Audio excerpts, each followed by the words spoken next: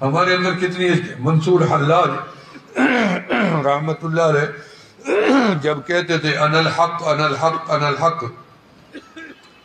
तो फतवा लग गया, काफिर हो गया है। काफिर हो गया है, गर्दन काटो। काजी ने फतवा दे दिया, ये अनल हक क्यों कहता है? पढ़ लें आप किताबों में, जब मंसूर हल्लाज रहमतुल्लाह की गर्दन पे छुरी चलाई गई तो जब उनके खून का कतरा ज़मीन पे गिरा तो हर कतरे से आवाज़ आ रही थी अनल हक अनल हक अल्लाह का नाम इतनी सराहियत कर गया था इसको उनके बदन के अंदर, खून के एक एक कतरे के अंदर। फिर दुनिया को समझ आई कि हमने बड़ा गलत किया।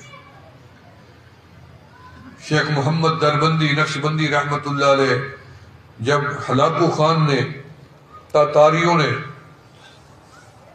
बगदाद पे शमखून मारा दस लाख मुसलमानों को तहतेक किया, गर्दने काट दी।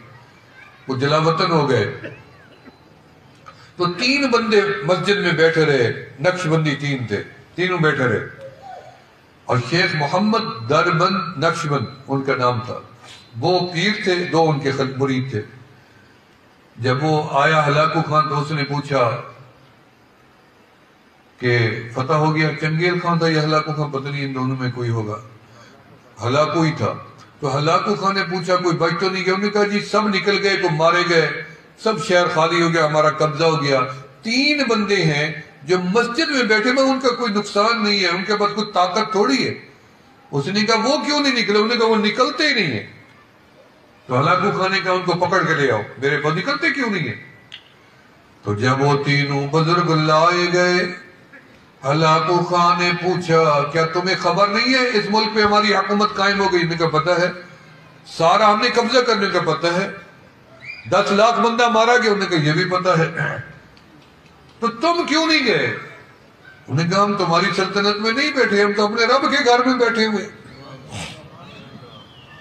उसने कहा, वो भी कोई रब का घर नहीं है।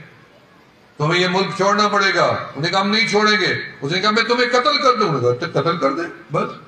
लेकिन हम रब का घर, मस्जिद नहीं छोड़ेंगे। ये है नक्शबंदी। अल्लाह अकबर कबीरा। अल्लाह अकबर कबीरा। बादशाह ने कहा, इनके गर्दने काट दो, इनको बाँध दो कुर्सियों से। बाँध के हाथ को उल्टे करके नीचे लिटा के अब इनकी गर्दने काट दो। जब उनको उल्टे लिटा दिया, जंजीरों से जकड़ दिया नीचे लिटाया हुआ था जल्लाद आया और उसने छुरी चल, तलवार चलाने के लिए कोशिश की। इन तीनों की बयक वक्त एक ही आवाज़ निकली अल्लाह। क्या निकली? क्या निकली? ज़ोर से गो ज़ोर से गो ज़ोर से गो अल्लाह अल्लाह अल्लाह अल्लाह अल्लाह। ज़ोर से आवाज़ निकली। जब अल्लाह की आवाज़ निकली जंजीर भी टूट गए रस्सियाँ भी टूट गई।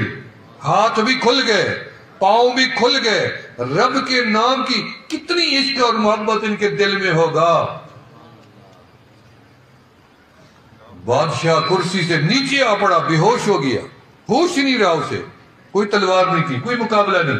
सिर्फ़ अपने मौला का नाम लिया, मोहब्बत से। जब मोहब्बत से नाम लिया, बादशाह उठा। उसने कहा, इसको वहीं छोड़ा इन तीनों को जहाँ से ले आए थे, मस्जिद में छोड़ा बैठे रो रहे अल्लाह, इस बादशाह को कलमे की तोफीक दे। अल्लाह इसे जहन्नम न जाने देना। अल्लाह